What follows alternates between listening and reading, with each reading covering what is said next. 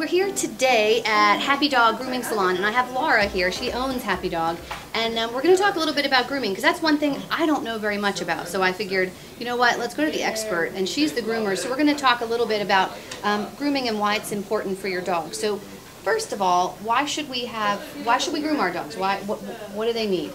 If you have a low shed dog that's not a groomed dog, the reasons why we bathe and groom them is the amount of hair that they're losing, the amount of dander and dirt on their skin.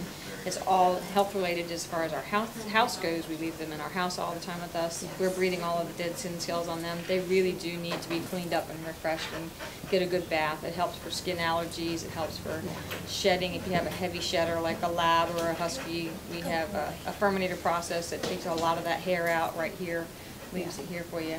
So it's a health issue. It's a really. health- it is It's a health issue for them And for you. and for us because I can tell you, having four dogs in my house, i- it's a it's a mess all the time. And if you have a groomed dog, which we call a groomed dog, they are dogs like the dog behind us is getting a trim up, or the new breeds, cockapoos, um, golden doodles, labradoodles, all of those need a haircut.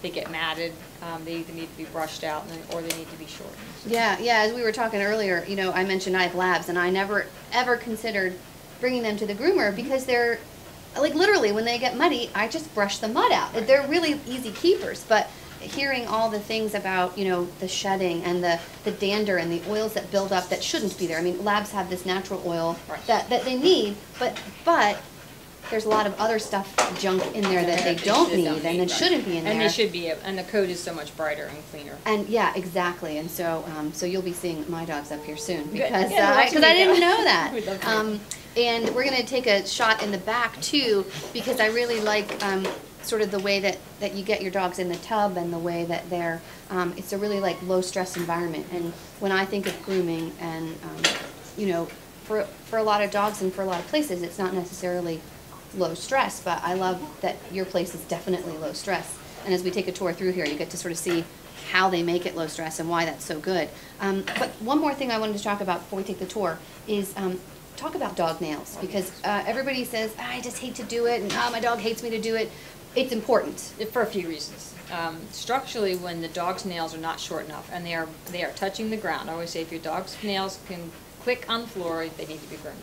And there's a reason why too. When they get super long, if you look at our joints, it would be like taking this joint and bending it up as the nail grows long, and it actually causes a deformity in the foot, and it and it causes arthritis in their feet. It's very uncomfortable. It's very painful for them to walk on that. Plus, they slip on the floors.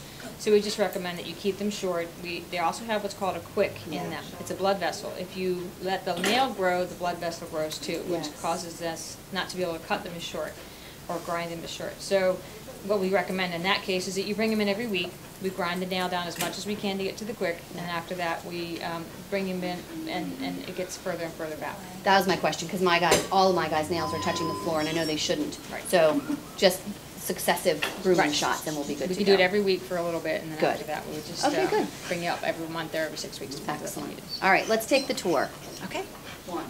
All right, we're now back in the bathing area, which is where all the dogs get their baths. And um, I thought a really good question is, what should people look for? So if you're not in, in this area, if you're not in the Mount Airy, Frederick, Damascus area, what should people that live out, out out of town? What should they be looking for in groomers near them?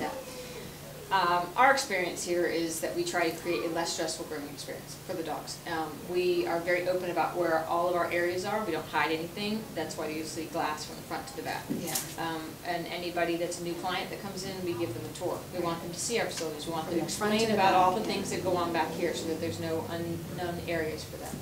Um, I think it's concerning if you want to go into a salon and you say, can I see your facility? And they say no.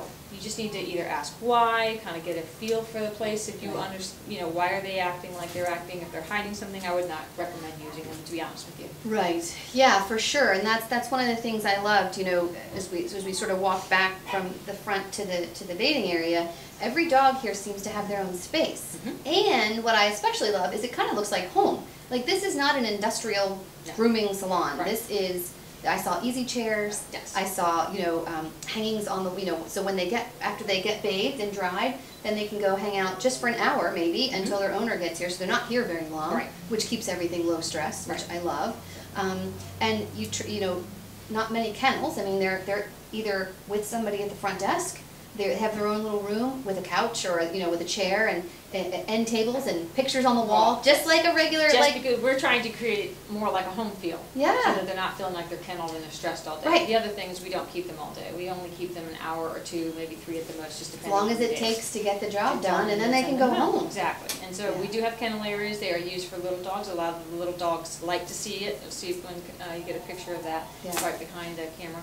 Um, they like to be there, they like to see what's going on, it's Yeah. all glass, they get to see what's going on, and they, and they feel comfortable in there, and then, um, otherwise, they're not here very long at all. Right, just they're in, they're out, get the job done, and then they're out of here, so it lowers the stress of just being in a different environment. Even as much as you try to keep everything homey, it's still Yes, different. It And is so different, for- it's not home and they're not with mom and dad. for those dogs, it's, it's a nice, um, sort of alternative to the, like, say, the, the big box grooming where they're almost like a number. Okay, here's your next dog. Exactly. Okay, good. Put him in the kennel to, you know, Right. till the end of the day. Okay, good. Here's your next dog. So it's, it's not, doesn't seem to be like an assembly line Yes. at all. It seems to be very personal and, and personalized, which I love. And so I, yeah, if people can find that, you know, where, where they live, I think that'd be perfect. Exactly. That's great. Good. Well, thank you for all the information. Um, grooming is not my forte, and I know that everybody who has a dog they need, have they need, they need to have grooming done, so train and groom, groom and train, okay? Exactly. Uh, so, thank you very much You're so for, welcome. for, um, for letting us come in here and kind of invade your space.